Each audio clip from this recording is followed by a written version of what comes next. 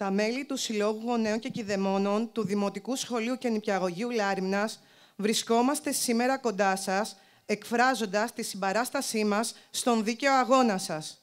Όλο αυτό το χρονικό διάστημα η αγωνία μας είναι ίση με τη δική σας. Όχι μόνο γιατί η πλειοψηφία των γονέων είναι εργαζόμενοι και συνάδελφοί σας στο εργοστάσιο, αλλά επειδή μέσα από τον αγώνα αυτόν θα παραμείνουν ανοιχτά και τα σχολεία μας. Τα παιδιά μας δεν θα χρειαστεί να ξεσπιτωθούν. Οι γειτονιές δεν θα ερημώσουν. Ο τόπος μας δεν θα μαραζώσει. Οι περισσότεροι από εμά είμαστε γονείς. Το να είσαι γονιός αναμφισβήτητα είναι ευλογία. Όμως μπορεί να είναι επίσης μία από τις πιο δύσκολες πλευρές της ζωής μας. Πλέον δεν ζεις για σένα. Ζεις για τις ανάγκες των παιδιών σου. Ζεις υπεύθυνος για την ανατροφή τους. Ζεις να τα βοηθάς.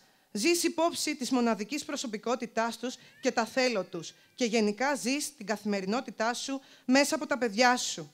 Για να μπορέσουμε να ζήσουμε, ζητάμε το δικαίωμα να εργαστούμε. Και χάρη στις δικές σας πράξεις, έχουμε καταφέρει τέσσερα χρόνια τώρα να είμαστε εδώ. Οι κινητοποιήσεις σας για τέσσερα συνεχή χρόνια είναι έμπρακτο παράδειγμα προς μίμησης στους μαθητές μας, μεγάλους και μικρούς, και δείχνει πως με αγώνα ο κάθε στόχος μπορεί να επιτευχθεί.